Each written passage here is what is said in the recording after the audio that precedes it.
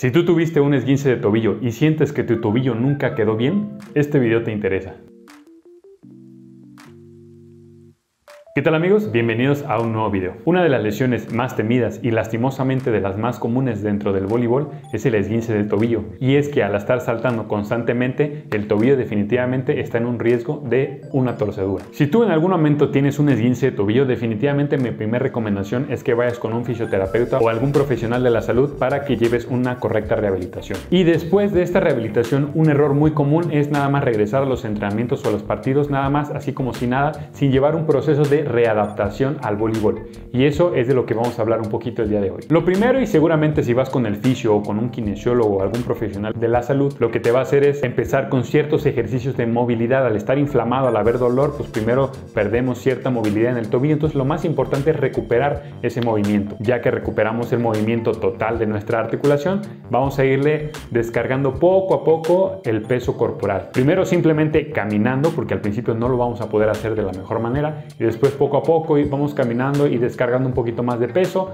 nos paramos de punta sobre los dos pies, nos paramos de punta sobre un pie, hasta ahí creo que vamos bien. Eso es una rehabilitación de cualquier persona que aunque no sea voleibolista, si tuvo una lesión de tobillo, más o menos vamos a hacer este tipo de rehabilitaciones. Ahora, específicamente para voleibolistas, ¿en qué nos tenemos que centrar? Probablemente el 80% de las lesiones que pasa de esguince de tobillo ocurre durante el bloqueo, ya sea porque pisamos a un compañero o a un rival, pero al estar brincando cerca de otra persona, corremos el riesgo de pisarlo y bueno, torcernos el tobillo. Y aparte, por el afán de llegar a bloquear, a veces nos olvidamos un poco de la técnica y llegamos atropellados y lanzados, volados hacia el bloqueo y eso definitivamente aumenta el riesgo de alguna lesión. Entonces, ¿qué es lo que te quiero decir? Es que tenemos que perfeccionar nuestra técnica de bloqueo. Entonces, definitivamente debemos de ir de menos a más. El primer ejercicio que podemos hacer es practicar nuestro desplazamiento lateral de bloqueo. Entonces te colocas frente a la red y vamos a dar un pasito lateral, brincas, das un salto muy muy leve, luego regresas al piso,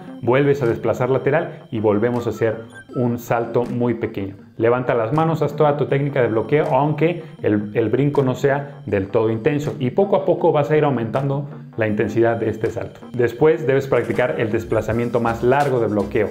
Haces tu desplazamiento con tus pies y al momento de perfilarte apoyas muy bien los pies en el piso y ahí haces el movimiento del salto. Nuevamente, aunque el movimiento no sea muy fluido y aunque el salto no sea muy potente, pero necesitamos ir mecanizando bien los movimientos para que después lo hagas más fluido y más rápido. Por último, también es importante practicar los desplazamientos que hacemos para un movimiento de defensa después del bloqueo.